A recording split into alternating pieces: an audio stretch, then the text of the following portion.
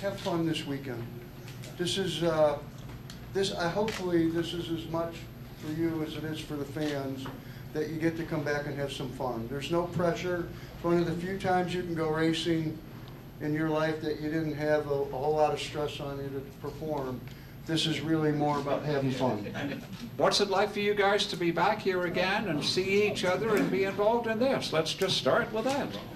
It's kind of a cliche phrase for all of us now, but every time we come under the tunnel, you know, and look at this place, it's, it's, it's like uh, religious, you know. It's, uh, me, like uh, some other guys have raced Formula One, Le Mans, World Rally, Dakar, everything, but there's nothing like this place. I've said it many times, and it's going to be the case again tomorrow. And 33 drivers, what, what better? Last year, I think we were 24, 25. This year, 33, the magic number, what, what better way?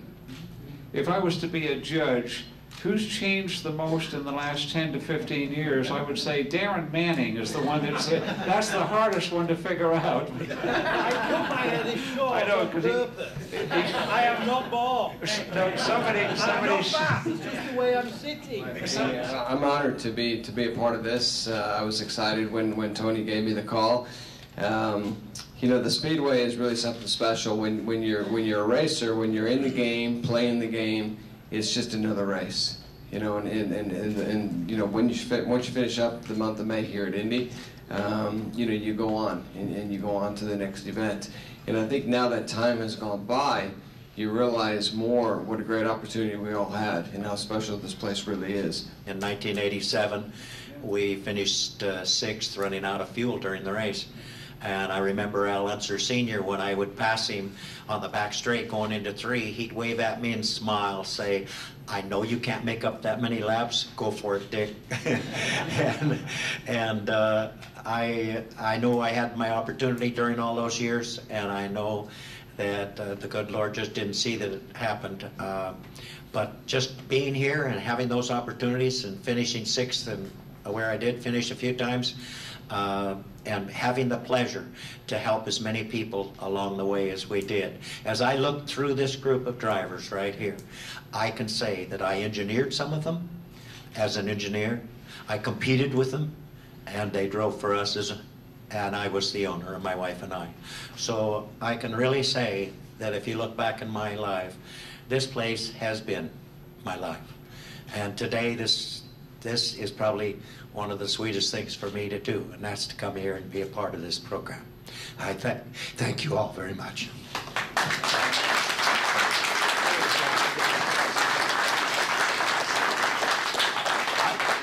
If, if you were a rookie with Dick Simon, hold up your hands, please.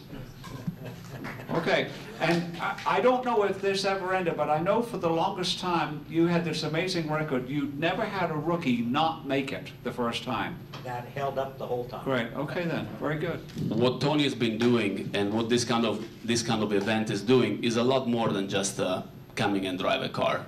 For a kid like me that was uh, dreaming about uh, Indianapolis 500, dreaming about these guys, to even have a chance uh, to get to be in the same room and get to meet all these people, uh, this is what it's all about.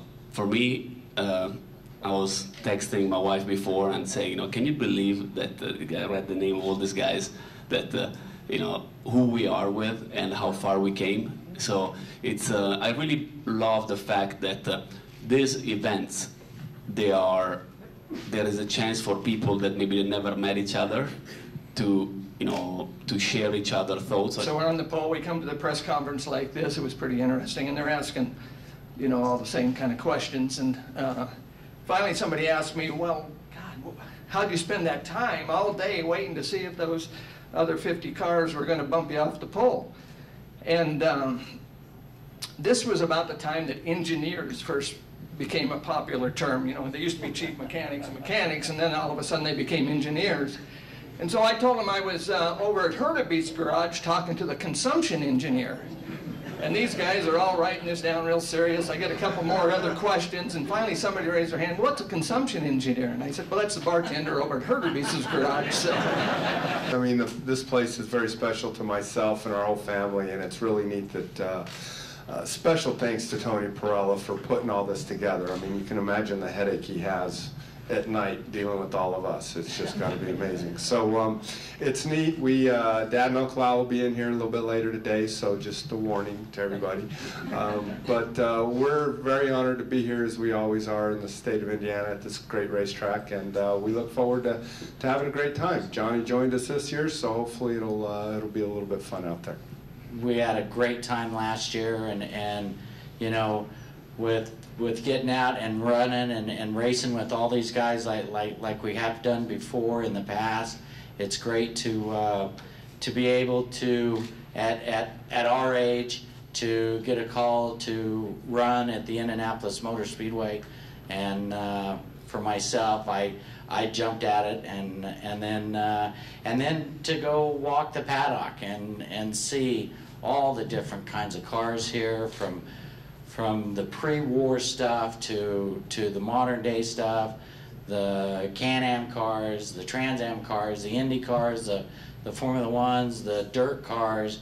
It's just fantastic to uh, to see all this stuff. And and um, and then you know uh, it was a shame that uh, that the rain stopped us from from all getting out there. And and uh, putting a few dents in the fenders. I want to tell you a little story about uh, Al Jr. It's Max. Oh, okay, yeah. I just want to tell a little story that I, I think it will surprise him. okay. So I came to U.S. You know, I've never driven an oval before, and uh, who do I go? You know, I go. You know, talk to you know Al Jr. because he's the king of the ovals. I'm out there at Michigan. You know, so I woke up early, go to his motorhome. He had a motorhome. I came. I was in the uh, Ann Arbor Holiday Inn. Drive in, go there. He's preparing breakfast. He makes this uh, eggs and he puts, he fills them up with jalapeno. I eat, never had jalapeno. I'm Italian, you know. We, we, we don't have that kind of stuff there. So I eat this stuff. No problem. The next two days, big problem. so That was probably his grandmother's recipe, probably. I don't. I, he, I I remember very clearly. You know, I had tears coming down like this. Anyway, I every every time I went back, I avoided you know the omelette and whatever thing with jalapeno. But I said no, because the guy is that much of a badass guy on oval. So every time I went on an oval on Sunday before the race, I always made sure I had eggs with jalapeno. Did, the, the Tuesday was a tragedy, Monday and Tuesday, but it worked pretty good because I learned how to drive on the oval, and uh, I never told him that. But uh, I still remember him cooking uh, this stuff and telling me about uh, how to hold the steering wheel, how to do that, and how to do that. And, uh, I, I think it worked pretty good. You know, I learned quite a lot. My first time uh, coming here, I was actually I was racing sprint cars with the World of Outlaws, and we were going down the road and we listened to the race, the 500, and my crew chief was like, "Man, it'd be cool to drive one of these cars." So we stopped into Indy during May, and uh, I came around and I was looking for an engineer, and I ran into Morris Nunn. Said, "Hey Mo, I want to drive one of these uh, one of these cars." You know, I'd never drove on pavement before. I was a dirt dirt guy, and. Uh, uh, you know, you talk funny. You don't look like a, you know, an IndyCar guy. Don't bother me. I, you know, I'm busy. I've got all this stuff. No, no, seriously. I'm, I'm gonna drive. I'm gonna drive a, a lights car. I'm not gonna drive you. I'm not gonna give you a try. I'm not gonna give you a try. You know. So go talk to my wife. So I went and spoke to uh, to Catherine, and you know, I think it was uh, two years later. I was in an Indy car. Here was not. Listen, it sucked. I crashed in the first lap. Um, I wanted to drink beers instead of race. I think that day. Um, but uh, it's a it's a great place. I've been back a bunch of times, and um, you know, I think my days here are done. But it's always great to come and see everybody. And I think it's funny because you look around the room. I don't know, you know, probably half of these guys, but you see them, and it's like we raced in the race together.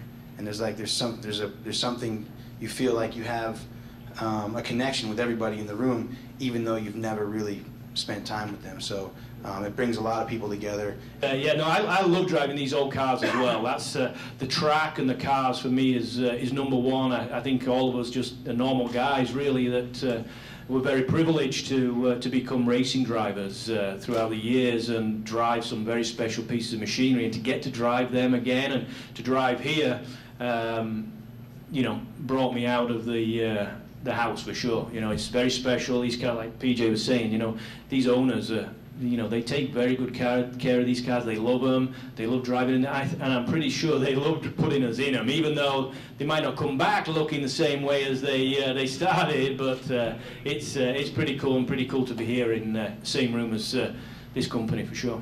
We got to respect the equipment here because these guys have got so much time and money and pride in their equipment. So we need to drive them as if it were our own instead of like we used to drive the other car owners. I'm stoked uh, to drive tomorrow and um, hopefully get some laps in. And never driven anything older than myself, and uh, this will be a first. Uh, I had the opportunity, okay, to watch my friend Dick in my mirrors flying behind me at Riverside, okay? And so when I had the first race here last year, I had the same privilege of watching him spin out in corner one. Uh, first, I mean, everywhere I look, there's a Dick Simon, okay? and, uh, and he's always where he shouldn't be. but uh, uh, this group is in, incredibly important to our family. Our family has uh, uh, just adopted this, uh, this group in general. By the way, Bob, I was spinning out because you were crashing in front of me. that could have been, that could have been. But I was in front. If you would have that Just for a moment. It's an amazing place, and every you know, somebody called me to run tricycle around here. I'd be here run, running, and I'm sure everybody else would be too. Yeah, we gotta, gotta put some extra struts on that puppy, don't we? but thanks again, Tony, for having us. Really appreciate it. What makes the Indianapolis Motor Speedway what it is, is its history. Without our history, we're just another racetrack. And it's the men and women who have really risked everything to compete here, uh, to drink a bottle of milk, just to qualify in some levels is why it's special. So we owe each of you the thank you uh, as much as you guys were thanking us. So we're really excited about this. Tony, this is a terrific event. Mark Dill, who's here, Mark helped uh, Tony come up with this concept several years ago. The, the facility wasn't quite ready for it. Last year we had an opportunity to, to execute it and make it happen. Uh, we are really excited to do number two, and we hope that this is a, a long-term event here at the Indianapolis Motor Speedway. Our fans love it. I'm sure all of you have heard from it. The fan that comes here is completely different than the fan that comes to the Indy 500. It's the same people without all the drunk people that are just here to party. They are true race fans, and that, and as you guys know, they know each of the histories of each of you. They want to talk to you. They have moments, and they can tell you when you qualified, where they were when they saw you qualify. It's just really fascinating to see that. So thank you so much for all you've done to make the Indianapolis Motor Speedway what it is. We're 352 days away from the 100th running. But without each of you and the efforts you put in here, we wouldn't be here today. So thanks a lot. Look forward to seeing you tomorrow in a great race.